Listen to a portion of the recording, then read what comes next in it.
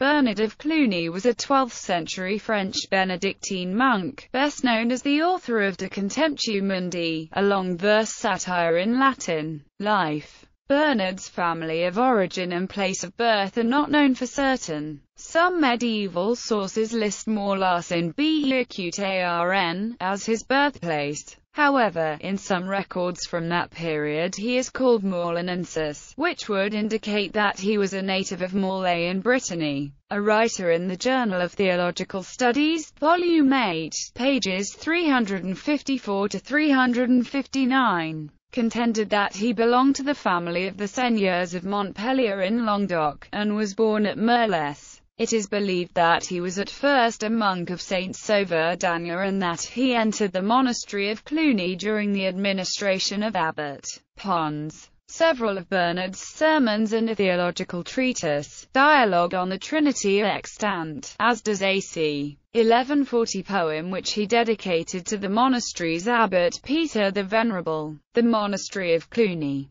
the first monastery in Burgundy was at Cluny, started by the Benedictine monks in 940 AD. With over 1,000 monks in residence, more than the population of most towns of that time. Large buildings had to be erected to house everyone and 40 farms produced the food. The abbey became grander and grander as its power over the whole of Europe increased. It was the largest church in Christendom, only succeeded later by St. Peter's in Rome, dominating for hundreds of years. It organized pilgrimages, oversaw hundreds of other monasteries and governed by the power of excommunication. On Contempt for the World, Bernard is best known as the author of De Contemptu Mundi, a 3,000-verse poem of stinging satire directed against the secular and religious failings he observed in the world around him. He spares no one, priests, nuns, bishops, monks, and even Rome itself are mercilessly scourged for their shortcomings. For this reason it was first printed by Matthias Flacius in Varia Poemata de Corrupta Ecclesia Statu as one of his Testes Veritatis, or witnesses of the deep-seated corruption of medieval society and of the Church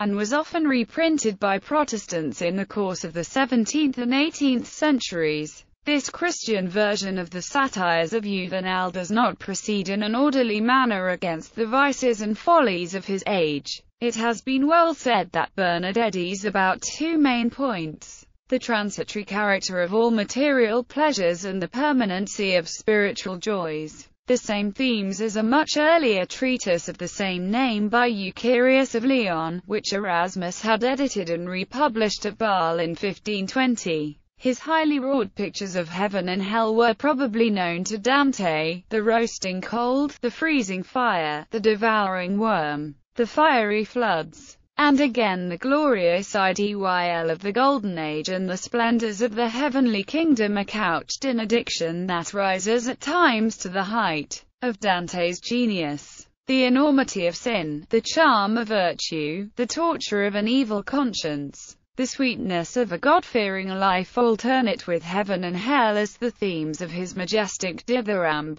He returns again and again to the wickedness of woman, the evils of wine, money, learning, perjury, soothsaying, etc. This master of an elegant, forceful, and abundant Latinity cannot find words strong enough to convey his prophetic rage at the moral apostasy of his generation. Youthful and simoniacal bishops, oppressive agents of ecclesiastical corporations, the officers of the curia, papal legates, and the Pope himself are treated with no less severity than in Dante or in the sculptures of medieval cathedrals. The early half of the 12th century saw the appearance of several new factors of secularism unknown to an earlier and more simply religious time. The increase of commerce and industry resultant from the Crusades, the growing independence of medieval cities, the secularization of Benedictine life, the development of pageantry and luxury in a hitherto rude feudal world,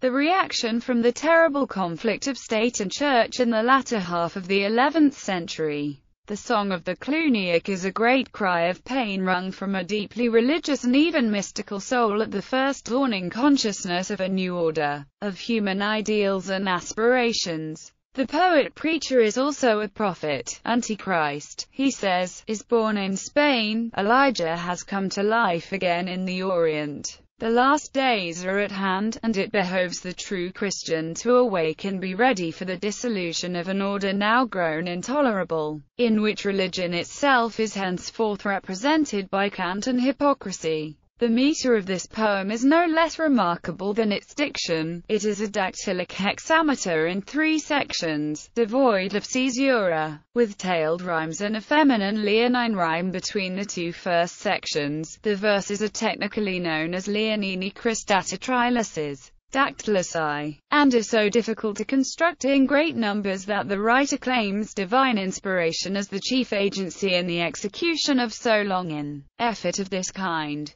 The poem begins, Hora novissima, tempora pessima sunt, vigilemus, ecce minaciter imminet arbiter il supremus, imminet imminet ut mala terminet, equa coronet, recta remuneret, anxia libere, aethera donat. It is, indeed, a solemn and stately verse, rich and sonorous, not meant, however, to be read at one sitting, at the risk of surfeiting the appetite. Bernard of Cluny is an erudite writer, and his poem leaves an excellent impression of the Latin culture of the 12th century Benedictine monasteries and Catholicism in France in general. A number of well-known modern hymns, including Jerusalem, the Golden, Brief Life is here Our Portion, The World is Very Evil, and For Thee, O Dear, Dear Country, are translations of parts of this famous poem. Seven hundred years later Richard C. Trench published the initial stanzas of the poem, beginning, Urbs Sion aurea, Patria Lecti, in his sacred Latin poetry.